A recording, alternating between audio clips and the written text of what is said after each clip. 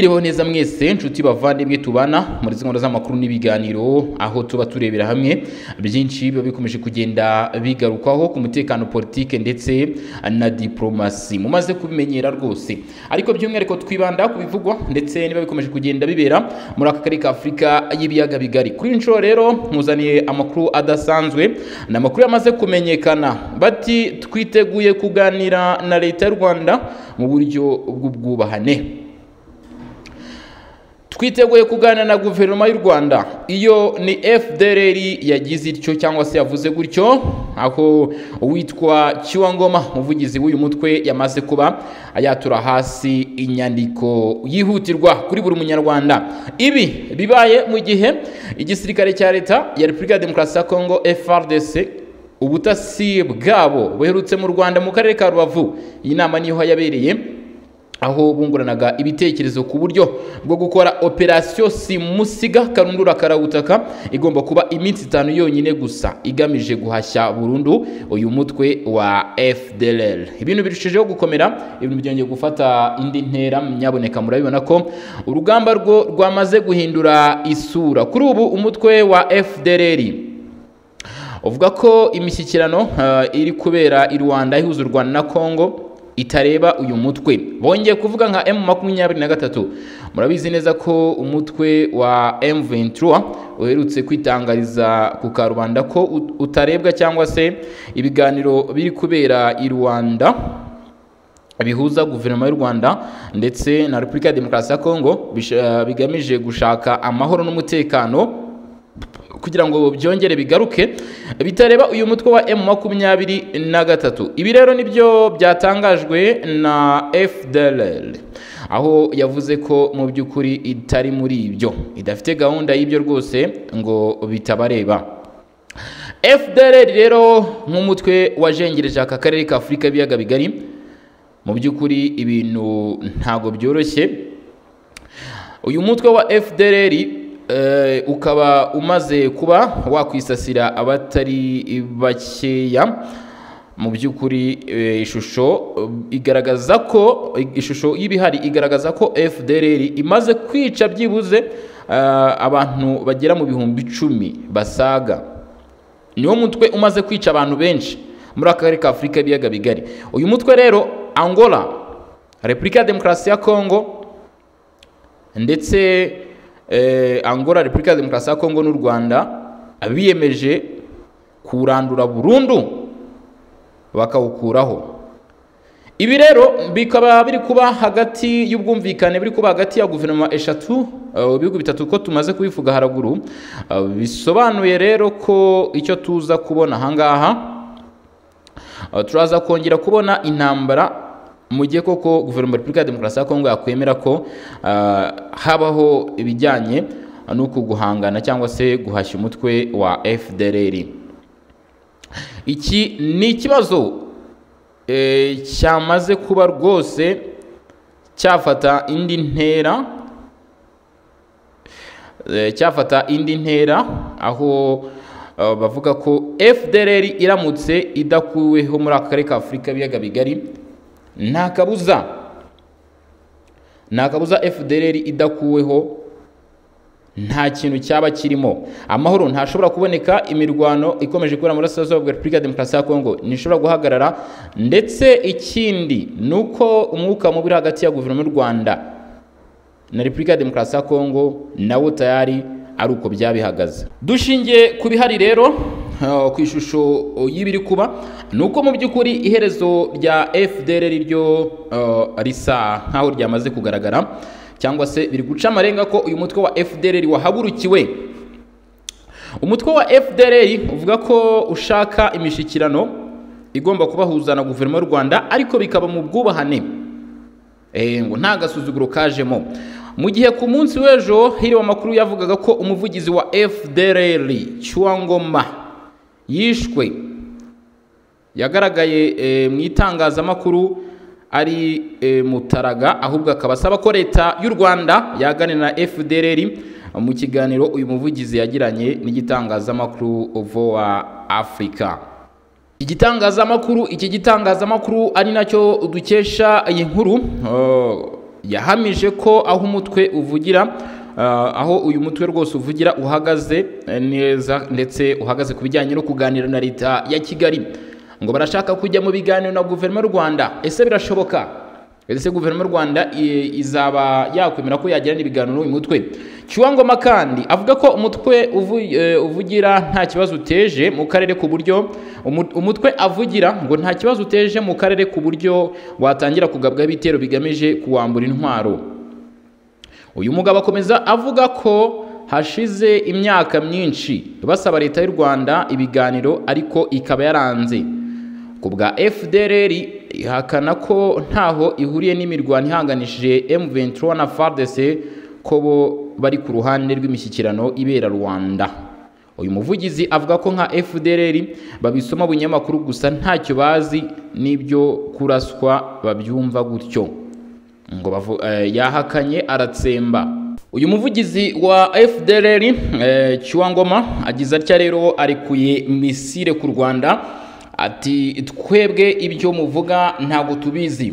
Tubibona mu itangazamakuru ndetse n'ibyo mudushinja ntabwo tubikora. Ese ni byo koko? Ariko kandi ngo bakaba bifuza ibiganiro uh, na guverinoma y'u rwanda. Nubwo umuvugizi wa fdrr avuga ko nta ruhare bafite mu mirwano iri kubera muri congo kinshasa impuguke za loni zagiye zerekana ubufatanye bukomeye bwa fdrr na leta ya congo mu bikorwa byo guhiga.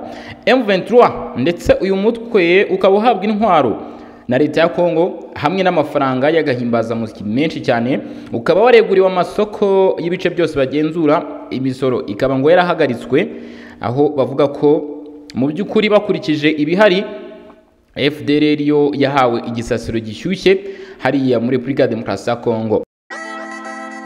Have sigaho wikongera guhendwa ukundi kuko Amir Rio Estate twaje nk'igisubizo. Kuri wifuza kugura ikibanza cyiza mu karere ka bugesera. By'umwihariko mu murenge wa mwogo aho guhera ku mafaranga y'u rwanda miliyoni imwe n'ibihumbi magana atanu tuguhe ikibanza cyiza. Ahantu heza watura ukaba witegeye ikibuga mpuzamahanga cy'indege cya bugesera. Si ibyo gusa kandi amiro riyo isiteti tubafitiye amazu meza agurishwa ku giciro cyiza. Hano mu karere ka bugesera akarusho utasanga ahandi ni uko muri amiro riyo isiteti ku bakiriya bacu ba mikoro aringaniye tubafasha kwishyura mu byiciro. Akarusho amiririyo esiteti dufasha abakiriya bacu kubona ibyangombwa byo kubaka n'iby'ubutaka ndetse ababishaka tubafasha kubaka inzu bifuza badahenzwe kuko dufite abenjeniyeri bamenuje mu bijyanye n'ubwubatsi. Erega turi abanyamwuga.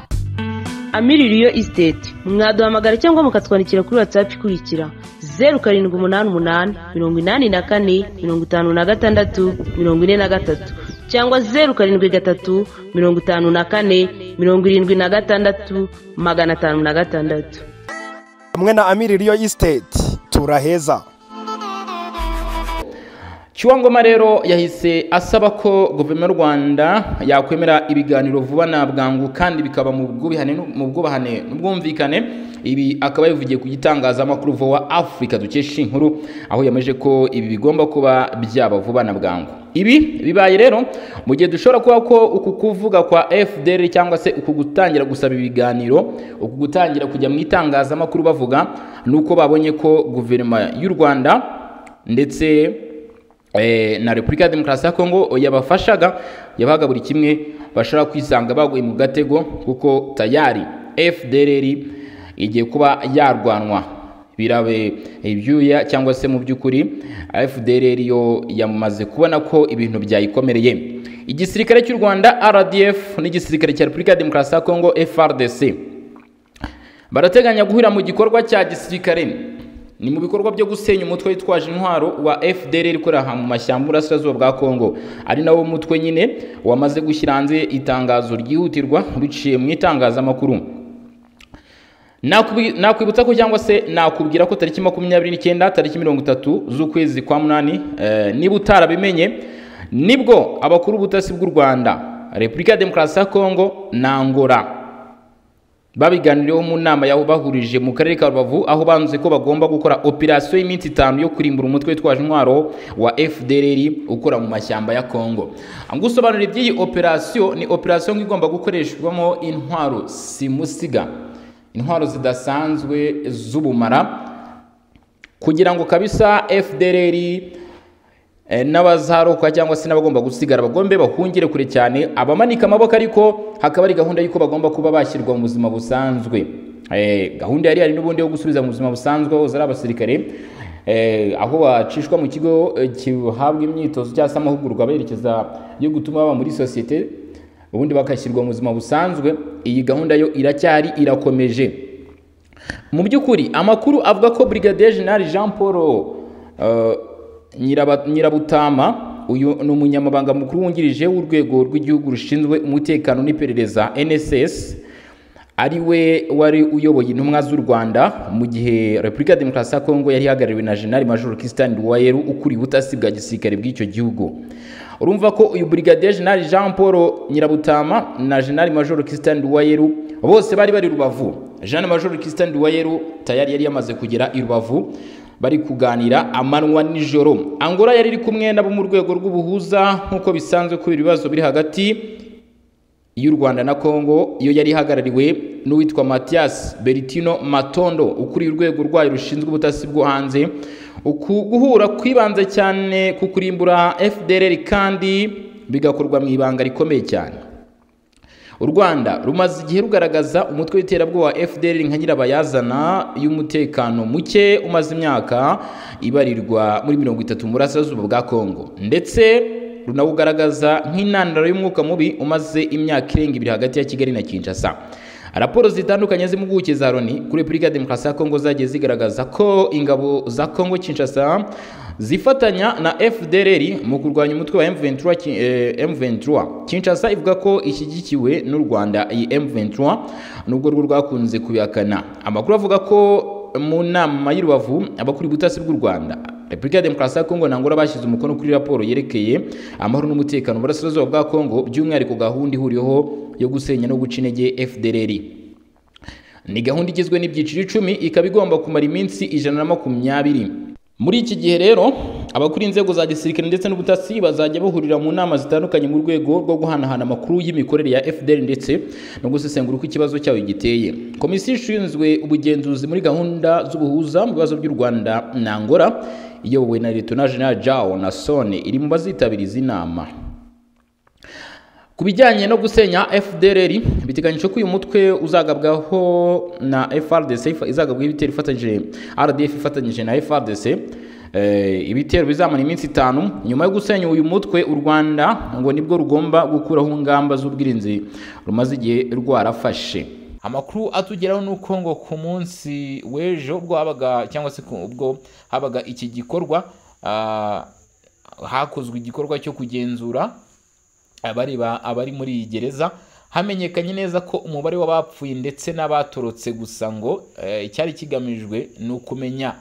Abafungiye muri iyi gereza bose bavuga ururimi rw'ikinyarwanda ah, aho bivugwa cyangwa se byemezwa neza ko ari nabo bari bagambiriwe kuba batorotswa ngo kuko byatekerezwaga ko harimo abantu bakomeye ndetse kandi mu by'ukuri ngo bari babiganiriyeho n'abateje aka kaduruvayo ahangaha muri iyi gereza y'amakara. Ni inkuru ikomeje kuri koroza ni inkuru ikomeje kuri koroza mu yandi makuru twagarukaho cyangwa se mu bindi nakubwira biba biri kugenda bivugwa. Ni uko byamaze kuba byamenyekana ko igisirikare cy'u rwanda rdf ndetse yewe n'igisirikare cya repubulika ya demokarasi ya kongo hari operasiyo bafitanye ibi kandi ngo byamaze kwemezwa igisigaye ni umunsi nyirizina wo gutangira kubishyira mu bikorwa.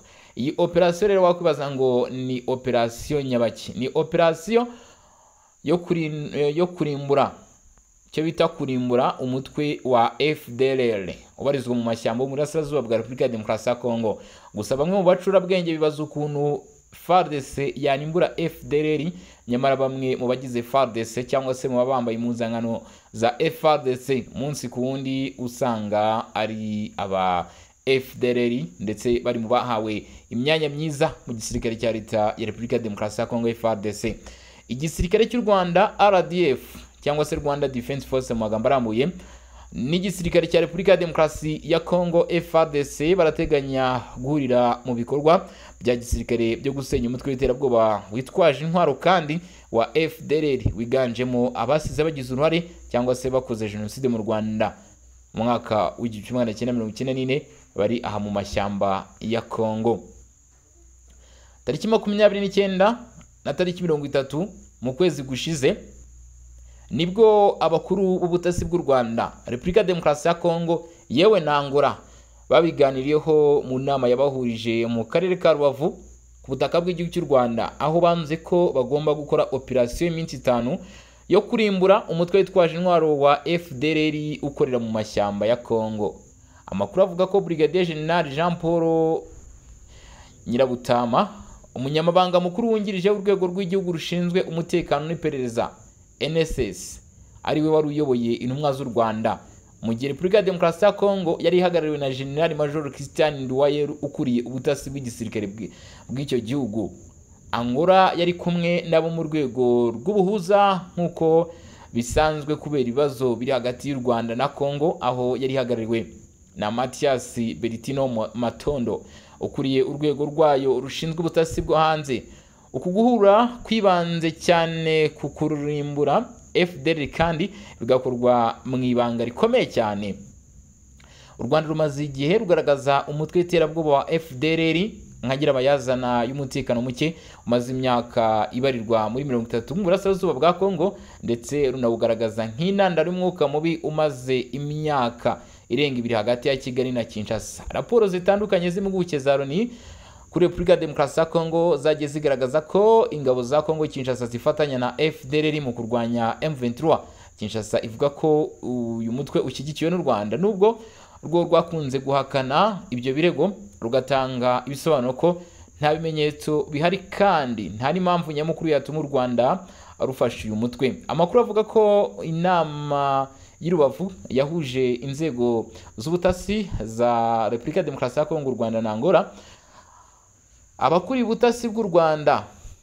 Kongo kinshasa na bashyize umukono kuri raporo yerekeye amahoro n'umutekano mu burasirazuba bwa kongo by'umwihariko gahunda ihuriweho yo gusenya no guca intege umutwe wa fdr iyi ni gahunda igizwe n'ibyiciro icumi ikaba igomba kumara iminsi ijana na makumyabiri.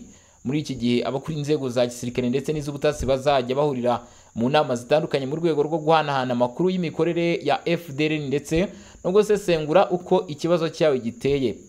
Komisiyo ishinzwe ubugenzuzi muri gahunda muri izi gahunda z'ubuhuza mu bibazo by'u rwanda na angola iyobowe n'uwitwa leta general jao nasone iri mu bazitabiriye inama ku bijyanye no gusenya uyu mutwe wa fdr ni umutwe n'ubundi wazengirije abatuye iburasirazuba bwa repubulika ya demokarasi ya kongo.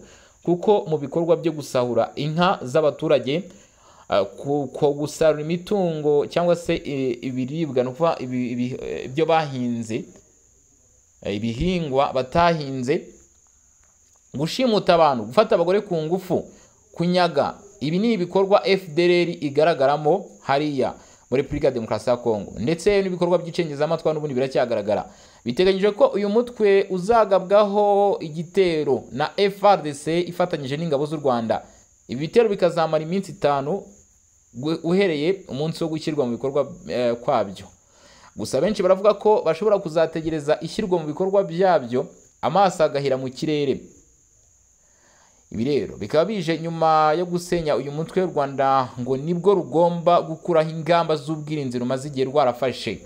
Mu ngamba z'ubwirinzi u rwanda rwafashe ngo bivuga ko hari n'abasirikare barenze imipaka berekeza hakurya y'imipaka. Ibi ngo bakabishingira ku mbwirwaruhame zagiye zitangwa n'abayobozi bagiye batandukanye ku ruhande rw'u rwanda bemeza ko ngo nyuma yo gukuraho iyo mpamvu nyuma yo kwibaza ibyo byose bakaba bimaze impamvu ingabo z'u rwanda zajyayo ngo iyi rero akaba ari imwe mu mpamvu zikomeye zatuma u rwanda rwohereza abasirikare hariya kuko rukeka ko fdr ishobora kuba yahungabanya umutekano w'u rwanda n'abanyarwanda muri rusange. Kuri gahunda kandi biteganyije ko nyuma yo gusenya fdr hagomba gushyirwaho gahunda yo gusubiza mu buzima busanzwe abarwanyi bayo bazemera gutaha. Nyuma u rwanda na kongo bigashyiraho urwego bihuriyeho rwo gukurikirana uko umutekano ugenda hagati y'ibihugu byombi ndetse n'ubudahangarwa kubikurikirana kugeza ubu rero ku itariki itariki iriya gahunda izanoherezwaho burundu ntabwo iramenyekana gusa biteganyijwe ko izaganirwaho muri uku kwezi ubwo abaminisitiri b'ububanyi n'amahanga b'u rwanda wa repubulika demokarasi ya kongo